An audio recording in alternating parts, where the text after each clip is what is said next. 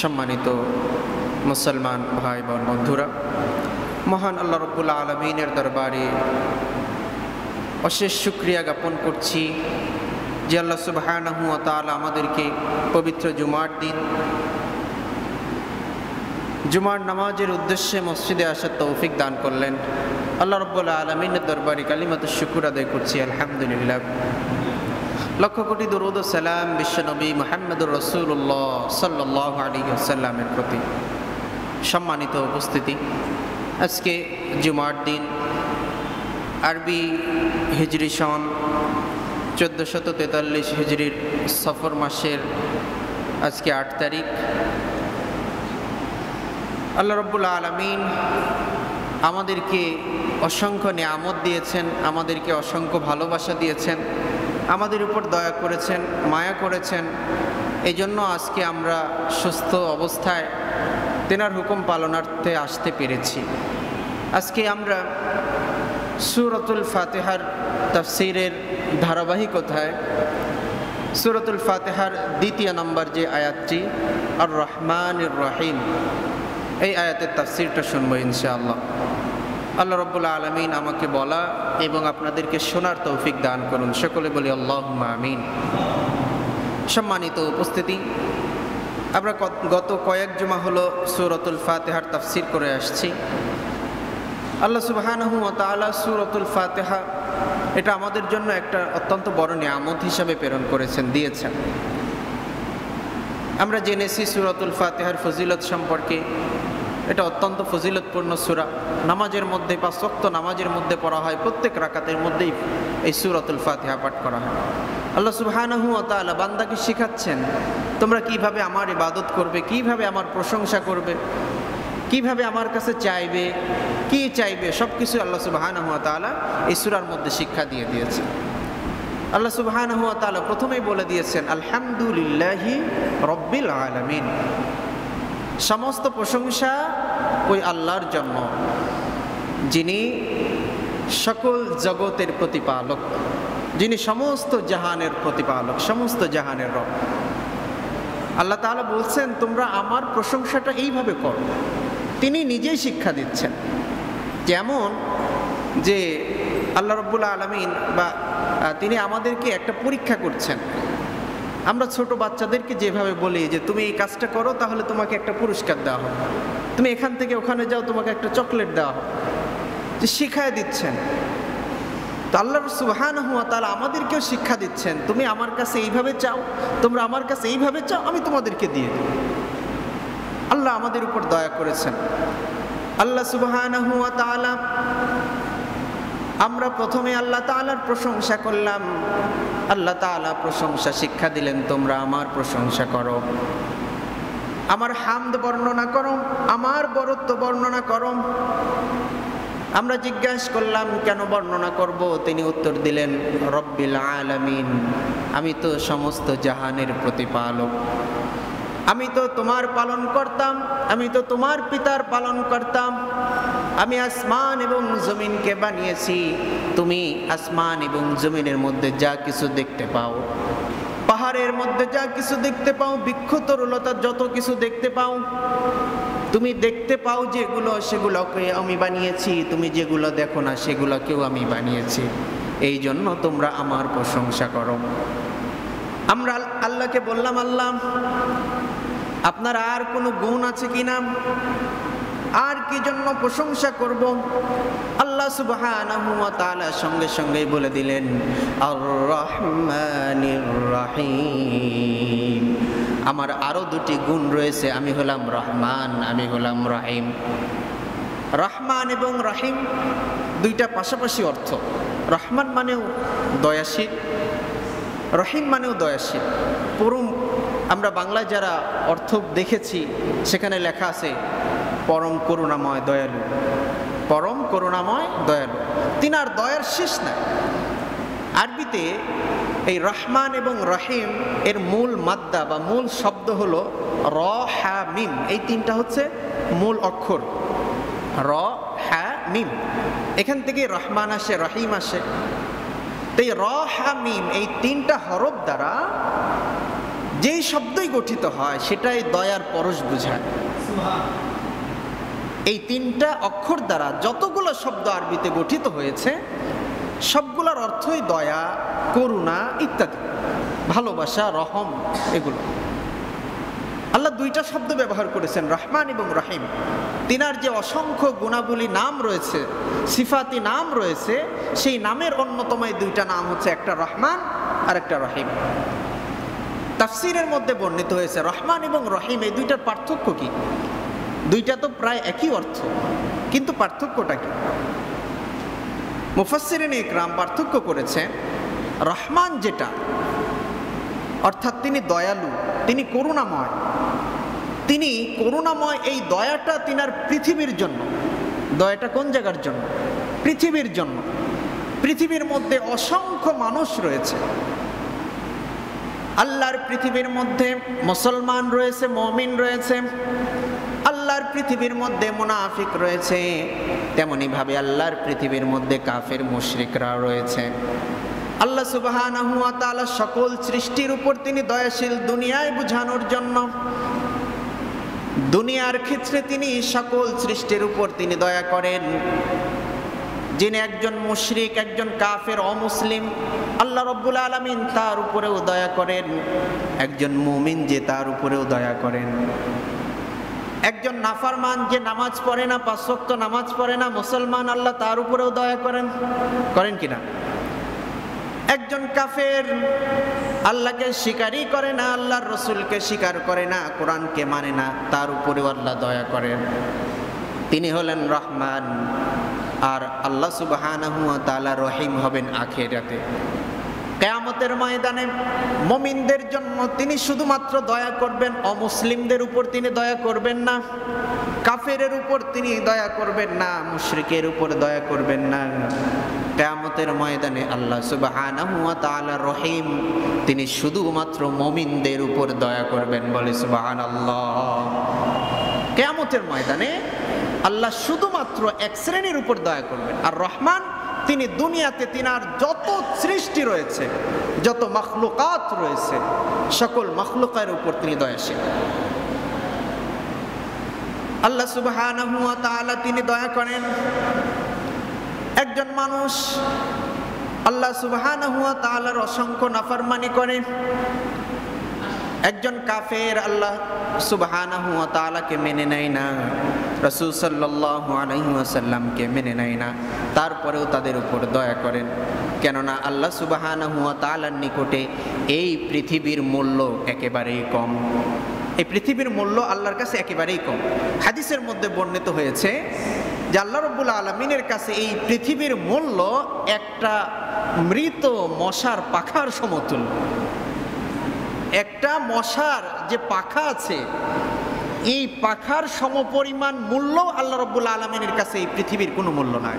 যদি এই পৃথিবীর মূল্য আল্লাহর কাছে একটা মশা বা মাসির পাখার সমপরিমাণও হতো, তাহলে আল্লাহ সুবাহ কোনো অমুসলিম, কোনো কাফের, মুশরিক বেইমানকে পৃথিবীর মধ্যে রিজিক দিতেন না, তাদের রিজিক বন্ধ করে দিতেন। কিন্তু আল্লাহ তালা সেটা করেন না। তিনি দুনিয়ার জন্য দয়ালু, তিনি রহমান, আর রহমান উফিদ দুনিয়া। তিনি দুনিয়াতে রহমান। তিনি মুসলমানদেরকে যেমন দিয়ে থাকেন, অমুসলিমদেরকেও তেমনই দিয়ে থাকেন। বরং অমুসলিমদেরকে আল্লাহ তালা একটু বেশিই দেন। আমাদের সাধারণত দুনিয়ার নিয়ম হলো, আমরা আমাদের আত্মীয় স্বজনকে কোনো জিনিস বন্টন করার সময় আমরা আমাদের আত্মীয় স্বজনকে বেশি দিয়ে থাকি। যেটাকে আমরা বলি স্বজন প্রীতি। আমরা এটা করি না যে আমার কাছের মানুষ ওকে একটু বেশি দিই। আমার যত কাছের মানুষ, তার জন্য অংশটা একটু বেশি। কিন্তু আল্লাহ সুবাহ হাদিসের মধ্যে বিশ্ব নবী সাল্লাল্লাহু আলাইহি ওয়াসাল্লাম বলেন দুনিয়া সিজনুল মুমিন ও জান্নাতুল কাফির। দুনিয়া হচ্ছে মুমিনদের জন্য একটা জেলখানা, বন্দিখানা। আর অমুসলিমদের জন্য এটা হচ্ছে জান্নাত। অমুসলিমদের জন্য দুনিয়াটা জান্নাত, আর মমিনদের জন্য কষ্টের জায়গা। এই জন্য আল্লাহ সুবাহ মমিনদেরকে, মমিনরা তো আল্লাহ রব্বুল আলমিনের অনেক প্রিয়, অনেক কাছের। আল্লাহর প্রিয় বান্দাদেরকে আল্লাহ কম দেন, আল্লাহ এখানে স্বজন প্রীতি করেন না। আল্লাহ তালা আখেরাতে স্বজন প্রীতি করবেন, অমুসলিমদের দিকে ফিরেও তাকাবেন না।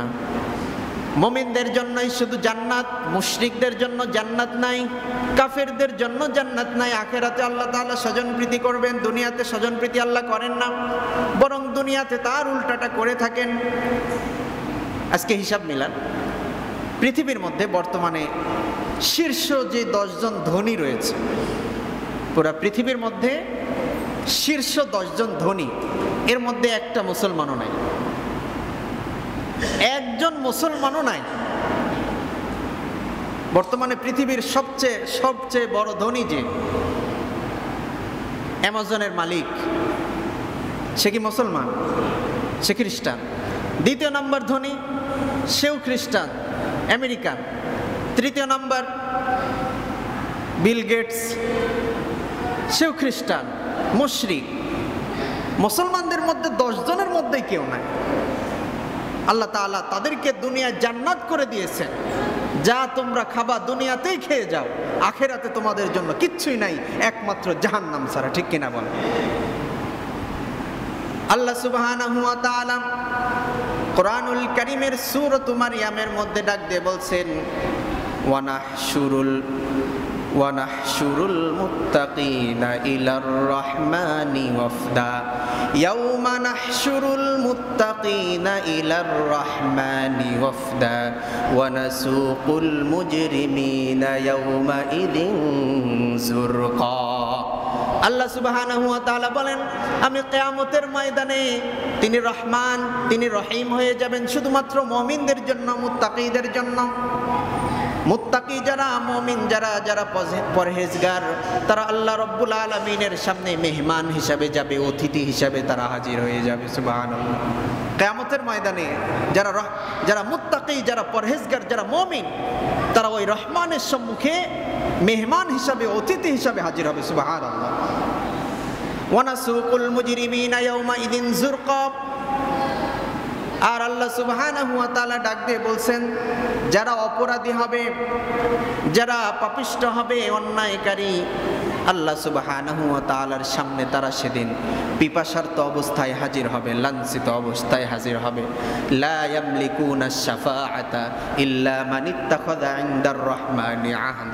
আর আল্লাহ রব্বুল আলামিনের সামনে, ওই রহমানের সামনে তাদের পক্ষে সুপারিশ করার মতো আর কেউ থাকবে না।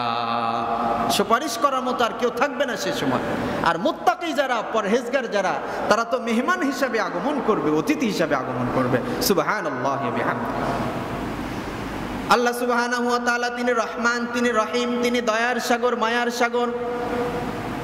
তিনি আমাদের উপর অসংখ্য দয়া করেছেন। বিশ্বনবী মোহাম্মদুর রসুল্লাহ বর্ণনা করেন। হাদিসটি বুখারী শরীফ, মুসলিম শরীফের মধ্যে রয়েছে। আল্লাহ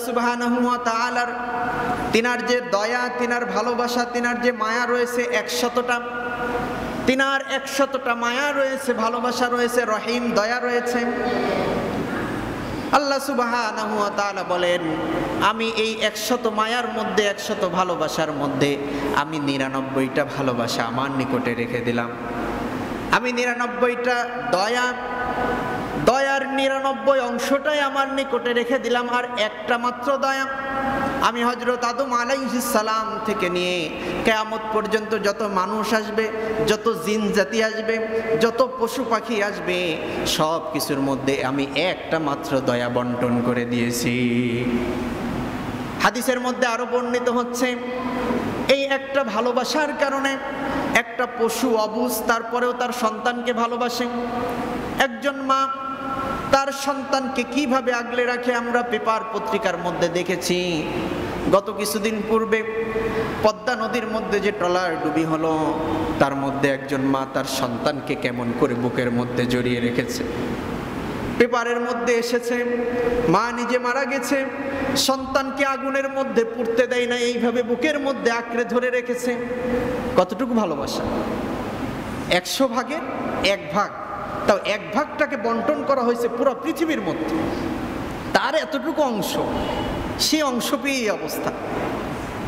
আজকে একটা মুরগি, তার বুঝ নাই, জ্ঞান নাই, শিক্ষা দীক্ষা নাই, সে বাচ্চা নিয়ে ঘুরে যখন একটা চিল চলে আসে, একটা কাক চলে আসে বাচ্চাকে ধরার জন্য, তার জীবন থাকা পর্যন্ত ওই বাচ্চাটাকে চিলে নিতে দেয় না। যখন দেখে চিল আসছে বা কাক আসছে মুখ দিয়ে ইশারা করে, মুখ দিয়ে শব্দ করে, বাচ্চাগুলো সঙ্গে সঙ্গে সে মায়ের পরশের মধ্যে ঢুকে যায়। এই ভালোবাসা অল্প, একটু ভালোবাসা। আল্লাহ তাআলা নিরানব্বই অংশের এক অংশ ভালোবাসা পুরো পৃথিবীর মধ্যে ছড়িয়ে দিলেন। তাতেই যদি এত ভালোবাসা হয়, তাহলে নিরানব্বই অংশ ভালোবাসা যার নিকটে রেখেছে। আল্লাহ রব্বুল আলমিন কতই না দয়াশীল, চিৎকার দিয়ে বলি আল্লাহ আজকে এই এক পার্সেন্ট ভালোবাসা পেয়ে ভালোবাসা নিয়ে কত উপন্যাস আছে না? কত উপন্যাস লেখা হয়েছে এই ভালোবাসা নিয়ে।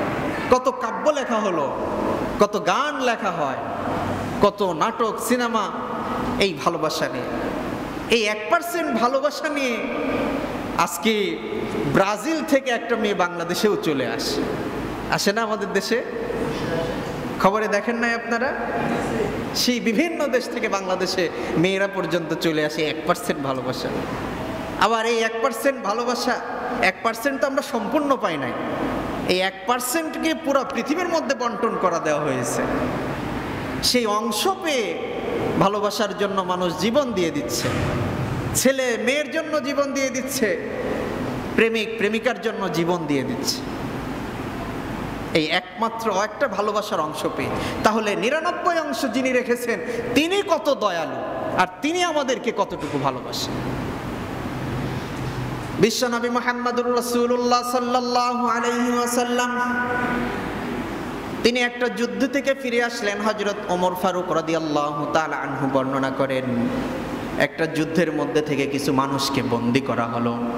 তার মধ্যে একটা মহিলা ছিল যার সন্তান ছিল। সে সন্তানকে দুধ পান করাতো।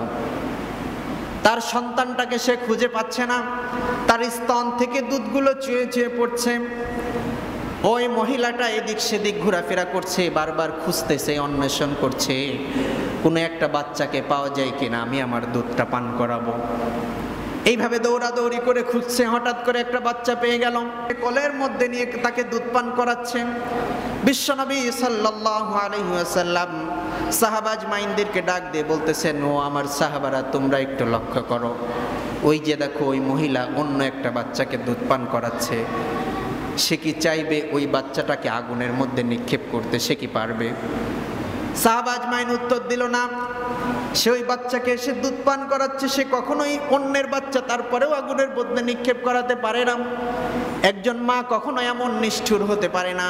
হোক না সেটা অন্যের বাচ্চা, তারপরেও সে এত নিষ্ঠুর হয় না। বিশ্বনবী সাল্লাহ আলাইসাল্লাম বললেন, ও আমার সাহাবিরা, যদি একটা মা তার নিজের বাচ্চা নয়, নিজের সন্তান নয়, অন্যের সন্তানকে যদি আগুনের মধ্যে নিক্ষেপ করতে না পারে আল্লাহ রব্বুল আলমিন, তিনি তো এত দয়ার সাগর, তিনি তে মায়ার সাগর, পৃথিবীর মধ্যে যত মা রয়েছে, এই সকল মায়ের অন্তরের মধ্যে যেই পরিমাণ ভালোবাসা রয়েছে, এই সকল মায়ের ভালোবাসা যদি একত্রে করা হয়, যেই পরিমাণে ভালোবাসা হবে, তার চেয়ে সত্তর গুণ ভালোবাসা আমার আল্লাহ রব্বুল আলমিনের বেশি রয়েছে বলি সুবাহ আল্লাহ পৃথিবীর সমস্ত মায়েদের ভালোবাসা, মোহাব্বত, দয়া যদি একত্রে করা হয়, তার চেয়ে আরও সত্তর গুণ বেশি ভালোবাসা আমার আল্লাহ রব্বুল আলমিনের কাছে রয়েছে। এই জন্য আমার মুসলমান ভাই বোন বন্ধুরা, যারা আমরা আল্লাহ রব্বুল আলমিনের দয়া থেকে আমরা বাহরুম হতে চাই। আমরা মনে করি আল্লাহ আমার উপর জুলুম করেছে। আমরা মনে করি আমরা গুণা করেছি। আমরা মনে করি আমরা অন্যায় করেছি, পাপ করেছি। আল্লাহ হয়তো আমাকে মাফ করবেন না। আল্লাহ তাআলা ডাক দিয়ে বলতেছেন, লা তাকনাতু মির রাহমাতিল্লাহ, ইন্নাল্লাহা ইয়াগফিরুজ যুনুবা জামিআ, ইন্নাহু হুয়াল গফুরুর রহিম। বান্দারা তোমরা অনেক অন্যায় করেছ। আমার কাছে ফিরে আসো, লা তাকনা তুমির রহমাতিল্লাহ, আমার রহমত থেকে নৈরাশ হয়েও না। তুমি মদ পান করেছ, আমি তোমাকে ক্ষমা করে দিব। তুমি তওবা করো, তুমি জিনা করেছ, তুমি তওবা করো, আমি তোমাকে ক্ষমা করে দিব। তুমি পৃথিবীর মধ্যে সবচেয়ে বড় পাপ হত্যা করেছ, তাও যদি তুমি আমার কাছে তওবা করো, আমি তোমাকে ক্ষমা করে দিব। দাহিয়াতুল কালবির আমরা নাম শুনেছি। তার নিজের কন্যাকে জীবন্ত অবস্থায় মাটির মধ্যে পুঁতে রেখে রাসূল সাল্লাহ আলাইসাল্লামের কাছে গিয়ে বলল, ইয়া রসুল আল্লাহ ইয়া হাবিব আল্লাহ আমি এমন পাপ করেছি, এমন অন্যায় করেছি, পৃথিবীর মধ্যে এমন কোনো অন্যায় আর হতে পারে না। আমি আমার জীবন্ত কন্যাকে মাটির মধ্যে পুঁতে রেখেছি। আল্লাহ রব্বুল আলমিনকে আমাকে ক্ষমা করবে। বিশ্বনবী সাল্লাল্লাহু আলাইহি সাল্লাম বললেন হ্যাঁ তুমি নৈরাশ না। লা তাকনাতু মির রাহমাতিল্লাহ। ইন্নাল্লাহা ইন্নাহু হুয়াল গফুরুর রহিম। আল্লাহ সুবহানাহু ওয়া তাআলা তিনি এত দয়াশীল। তিনি দয়ার সাগর, মায়ার সাগর। তুমি যত বড় অন্যায় করো না কেন, হাত তুলে আল্লাহর কাছে তওবা করো। একবার দোয়া করো, আল্লাহর কাছে মাপ চাও। আল্লাহ রব্বুল আলমিনের কাছে হাত তুমি বাড়াইতে দেরি। আল্লাহ রব্বুল আলমিন তোমাকে ক্ষমা করতে দেরি করবে না। এই জন্য আল্লাহ তালা বলছে আর রহমান রহিম, আমি হলাম দয়ালু, আমি দয়ার সাগর। তিনার দয়া কত বেশি? বিশ্বনবী মোহাম্মদুর রসুল্লাহ সাল্লাহ আলাইসাল্লাম বর্ণনা করেন, আমি যখন মেয়ারাজের মধ্যে গেলাম, আর সে আজিম ঘুরে বেড়ালাম আর সে মহল্লার উপরে আমি একটা সাইনবোর্ড লেখা দেখলাম। সেখানে লেখা রয়েছে, ইন্না রহমাতি সাবাকাত গজাবি। নিশ্চয় আমার রহমত, আমার দয়া, আমার ভালোবাসা আমার রাগের উপর বিজয় লাভ করেছে। আমার রাগ আছে, আল্লাহ বলছেন আমার রাগ আছে। কিন্তু আমার যে পরিমাণে দয়া রয়েছে, ভালোবাসা রয়েছে, রাগের চেয়ে অনেক বেশি রাগের উপর বিজয় লাভ করেছে আমার দয়া, আমার ভালোবাসা। আল্লাহ সুবহান সুরতুল ফাতিহা শুরুতে বলছেন, আলহামদুলিল্লাহ রব্বিল আলমিন। আমি তো সমস্ত জাহানের প্রতিপালক, তার মানে এই নয় যে আমি অনেক রাগী, আমি অনেক ভয়ঙ্কর, এমনটা নয়। আল্লাহ তাআলা সঙ্গে সঙ্গে বলে দিচ্ছেন, বান্দারা, তোমরা আমার প্রতি এত ভয় পেও না। আমি তোমাদের উপর দয়ালু। আর রহমানুর রহিম। আমি তো দয়ালু, পরম করুণাময় দয়ালু। বিশ্বনবী সাল্লাল্লাহু আলাইহি ওয়াসাল্লাম বলেন আল্লাহ তাআলা এত বেশি দয়ালু, এত দয়ার সাগর, মায়ার সাগর তিনি। যখন কোনো বান্দা আল্লাহ রব্বুল আলমিনের কাছে এক বিদ পরিমাণ সামনে অগ্রসর হয়, আল্লাহ তাআলা তিনি আমাদেরকে এত ভালোবাসেন, আমাদেরকে বুকে টেনে নেওয়ার জন্য এক হাত সামনে চলে আসেন। এরপরে তিনি বলেন যখন কোনো বান্দা এক হাত পরিমাণ সামনে আসে, আল্লাহ তালা দুই হাত পরিমাণ সামনে আসে। বিশ্বনবী আরও বলেন, যখন কোনো বান্দা হেঁটে হেঁটে আমার দিকে আসে, আমি আল্লাহ সুবাহানাহু ওয়া তাকে বুকে টেনে নেওয়ার জন্য দৌড়ে দৌড়ে তার সামনে চলে যায়। আর রহমানুর রহিম, তিনি দয়া দয়ালু, দয়ার সাগর, মায়ার সাগর তিনি। শুধু তাই নয়, তিনি আমাদের উপর কত বেশি দয়া করেছেন? আল্লাহ তাআলা বলেন, বান্দারে, তুমি যখন দুনিয়াতে আগমন করলে, তোমার কোনো বুদ্ধি ছিল না, জ্ঞান ছিল না। ওয়াল্লাহু আখরাজাকুম মিন বুতুনি উম্মাহাতিকুম, লা তা'লামুনা শাইআ। এমন অবস্থায় আমি তোমাকে তোমার মায়ের পেট থেকে দুনিয়াতে বের করলাম, তুমি কিছুই জানতে না। আমরা জানতাম কিছু, বুঝতাম। আল্লাহ তালা বলেন, তোমার দুটা চোখ ছিল, তুমি দেখতে না। তোমার কান ছিল, তুমি শুনতে পেতে না। তোমার জিব্বা ছিল, তুমি কথা বলতে পারতে না। তোমার মন ছিল, তুমি চিন্তা করতে পারতে না। তোমার ব্রেন ছিল, তুমি ব্রেনটাকে কাজে লাগাতে পারতে না। তোমার হাত ছিল, তুমি হাত দিয়ে কিছু ধরতে পারতা না। তোমার পা ছিল, তুমি পা দিয়ে চলতে পারতা না। শুধু তুমি নড়াচড়া করতে পারতা।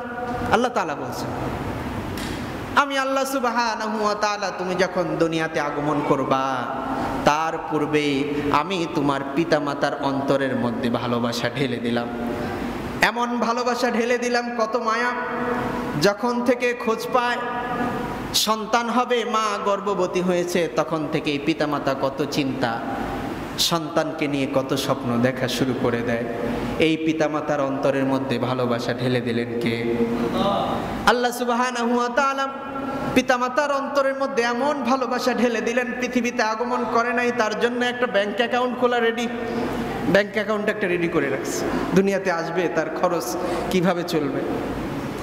নানান ধরনের স্বপ্ন, অনেকে তো আছেন বিদেশে থাকেন দূর দূরান্ত থাকেন। সরাসরি দেখতে পায় না যারা একটু ধনী আছেন। আগের থেকে মিষ্টির দোকানদারকে ফোন দিয়ে বলে, হচ্ছে টাইম হচ্ছে কিন্তু, আসতেছে, মিষ্টি রেডি রাখো টাইম মতো মিষ্টি না পেলে খবর আছে। কত ভালোবাসা আল্লাহ ঢেলে দিলেন পিতামাতার অন্তরে। আল্লাহ সুবাহ বলেন, তুমি যখন দুনিয়াতে আগমন করলে তোমার বলার মতো কোনো শক্তি ছিল না। আমি আল্লাহ তাআলা তোমার মুখ দিয়ে একটা কান্নার শব্দ শুনিয়ে দিলাম। সঙ্গে সঙ্গে পিতামাতা, আত্মীয় স্বজন তোমার দিকে দৌড়ে চলে আসে আর আনন্দে তারা কান্না করতে থাকে। তুমি কান্না করছ, এটা দেখে তারা খুশি।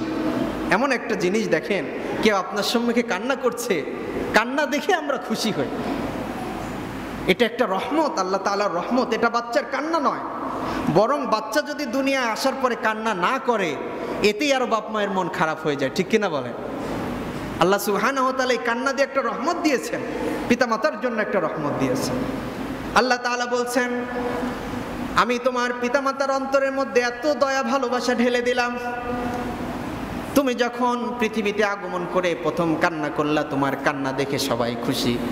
পরবর্তী সময় যখনই তুমি কান্না করো, মা যেখানেই থাকুক না কেন, যত ব্যস্ততার মধ্যেই থাকুক না কেন, হাজার কাজের মধ্যে থাকুক না কেন, বাচ্চা যদি একবার উঙ্গা উঙ্গা বলে ঘরের মধ্যে কান্না করে, সকল কাজ ফেলে দিয়ে ওই বাচ্চাকে বুকের মধ্যে জড়িয়ে নিয়ে দুধ পান করিয়ে দেয় মা। বাবা সারাদিন কষ্ট করে, সারাদিন কষ্ট করার পরে সন্ধ্যাবেলায় যখন বাড়িতে ফিরে সন্তানের জন্য খাবার নিয়ে যায়। আজকে যারা বাবা হয়েছেন, তারা বুঝতে পারেন, পিতামাতার অন্তরে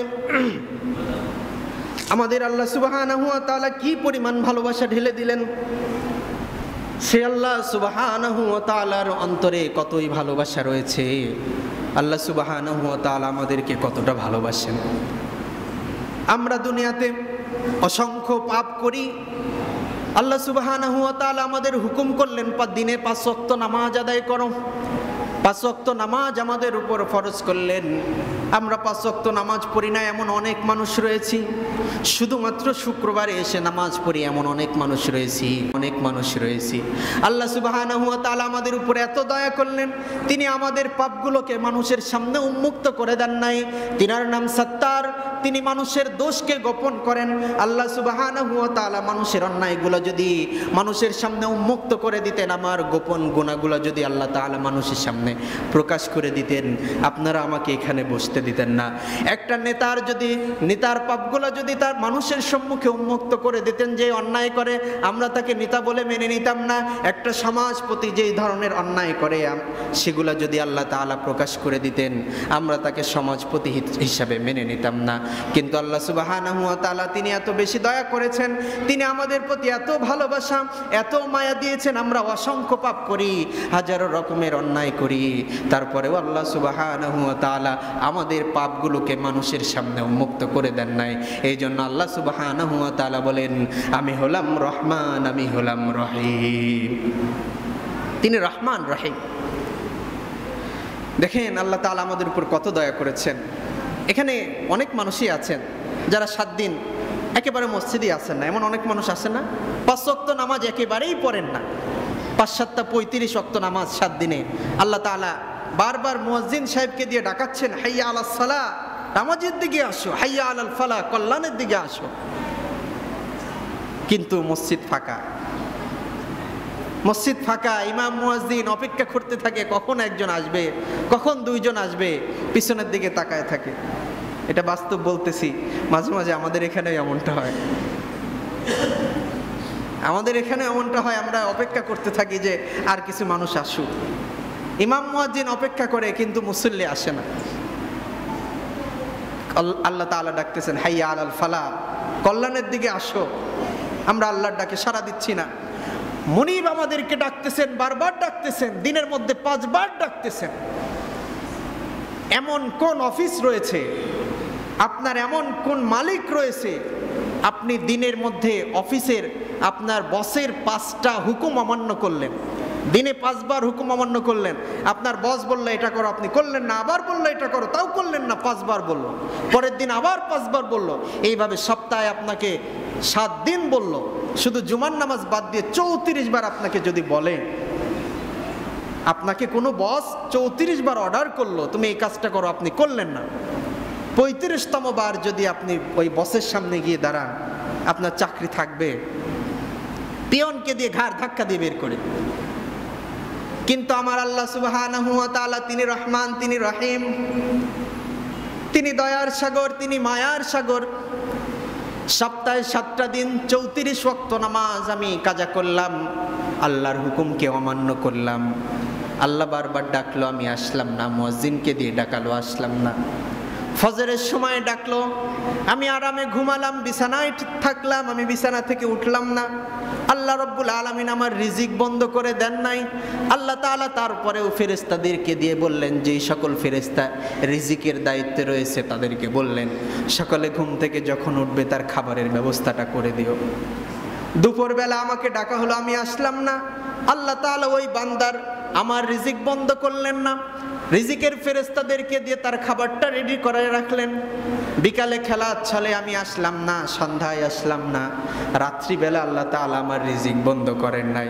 এমনকি আমাকে বলেন নাই, তুমি আমার হুকুম মানো নাই, তোমার রিজিক আজকে বন্ধ। যাও তুমি আমার পৃথিবী থেকে বের হয়ে যাও। এই কথা আল্লাহ তাআলা বলেন নাই। শুধু তাই নয়, সপ্তাহে চৌত্রিশ দিন নামাজ না পড়ে, নামাজ কাদা, কাজা করে আল্লাহ সুবহানাহু ওয়া তাআলার অর্ডারকে উপেক্ষা করে আমরা যখন সপ্তম দিন, জুমার দিনে জুমার নামাজ আদায়ের উদ্দেশ্যে মসজিদের দিকে যখন আসব, আমরা নামাজের জন্য প্রস্তুতি গ্রহণ করি। আল্লাহ তাআলা কত বড় দয়ালু। আমি যখন অজু করতেছি, আমি যখন হাতের মধ্যে পানি নিলাম, দুইটা হাত ধুলাম, আমার হাত দ্বারা যত সুগিরা গুণা হলো আল্লাহ তাআলা মাফ করে দিলেন। আমি যখন চোখ ধুলাম, মুখ ধুলাম, আমার চোখ দ্বারা যতগুলা অন্যায় হয়েছিল সগিরা গুণা হয়েছিল, আল্লাহ মাফ করে দিলেন। আমি যখন পা ধুলাম, আমার পায়ের দ্বারা যতগুলো সগিরা গুণা হয়েছিল, আল্লাহ তালা মাফ করে দিলেন। এখানেই তিনার দয়ার শেষ নয়। আমি যখন হেঁটে হেঁটে মসজিদের দিকে আসতেছি আল্লাহ সুবহানাহু ওয়া তাআলা কত বেশি দয়া করেন, আমার প্রতি কদমে কদমে আমার অতীতের জীবনের একটা করে গুনাহ মাফ করে দেন। শুধু তাই নয়, আমি যত একটা করে কদম ফেলছি, আমার প্রত্যেকটা কদমের বিনিময়ে একটা করে নেকি দান করেন। আমি যখন মসজিদের মধ্যে আগমন করলাম, আল্লাহর কোনো দারোয়ান মসজিদের মধ্যে রেখে দেন নাই যে ওই বান্দা যখন আসবে তাকে ঘাড় ধাক্কা দিয়ে বের করে দিবে, আল্লাহ তাআলা এমনটা করেন নাই। বরং মসজিদের দরজার মধ্যে রহমতের ফেরেশতা দাঁড় করায় রাখলেন।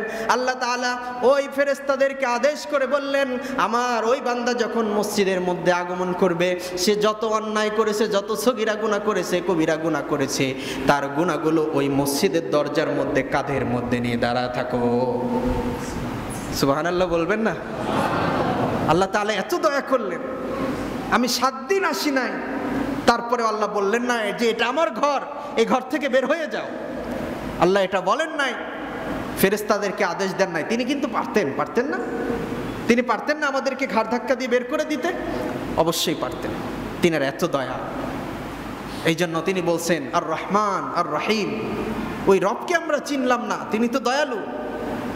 ফিরে আসো আমার দিকে। আল্লাহ তাআলা বলছেন, লা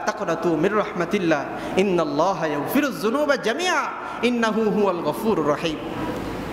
আমার রহমত থেকে নৈরাশ হও না। তৌবা করো, ক্ষমা চাও। আমি আল্লাহ রব্বুল আলমিন তোমার জীবনের সমস্ত গুণাকে ক্ষমা করে দেব। শুধু ক্ষমাই করবেন না, আল্লাহ তাআলা বলেন